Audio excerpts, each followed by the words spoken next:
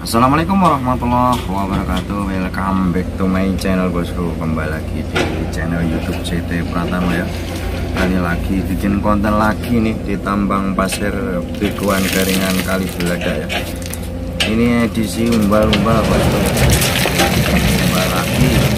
Pasir Biguan Sorsungan Kali Belada Kita terkini tampak panas bos. Ini suasana di tambang pasir Bigo Garingan Kali Belada banyak juga aktivitas tergerosok dari luar kota yang berdatangan ya. Ini limbah jadi berkah ya. Gerosok-gerosok diolah lalu dibikin koral ya. Yuk ikuti terus perjalanan ke sahabat bis. Dukung terus channel youtube Pratama like, comment, dan subscribe. Thank you bosku. Yuk kita gas